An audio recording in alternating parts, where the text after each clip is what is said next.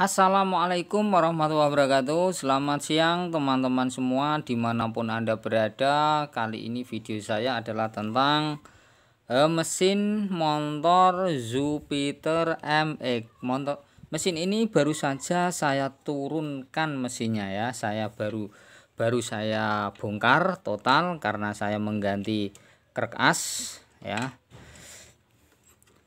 Karena krek as ini motor ini sudah mengalami kerusakan. Saya ganti eh, yaitu saya ganti ya bekas tapi asli asli ya.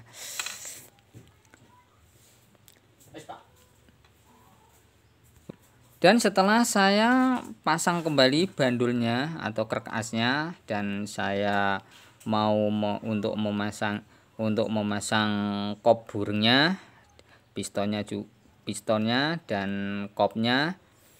Sebelum saya memasangi itu semua karena motor ini habis bongkar lebih dulu ya sebelum saya naikkan ke rangka lebih dulu saya masukkan oli mesinnya dulu.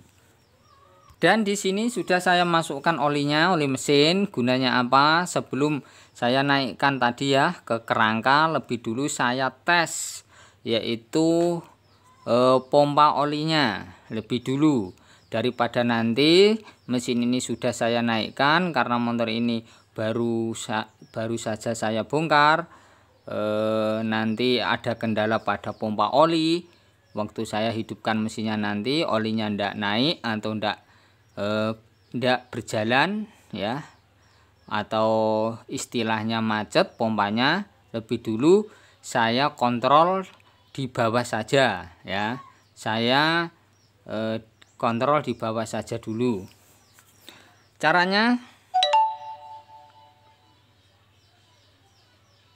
Caranya seperti ini ya.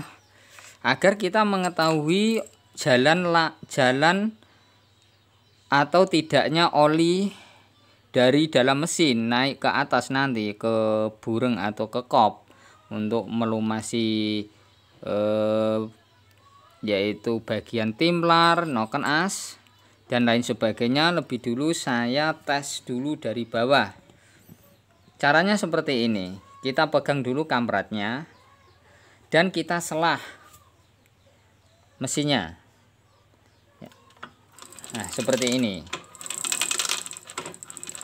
Kalau nanti kita selah terus, di sini bisa mengeluarkan oli, berarti pompa olinya tidak ada kendala dan lubang-lubang pada eh, blok mesin ini menuju eh, lubang sini naik ke atas ke burung tidak ada hambatan sama sekali.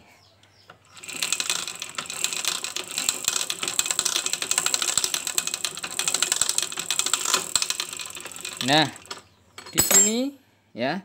Di sini sudah kelihatan olinya keluar dari dalam blok mesin. Dari mesin ini. Berarti pompa olinya ini sudah normal.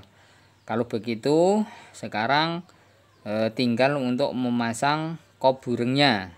Ya, ini sudah tidak ada kendala di bagian pompa olinya.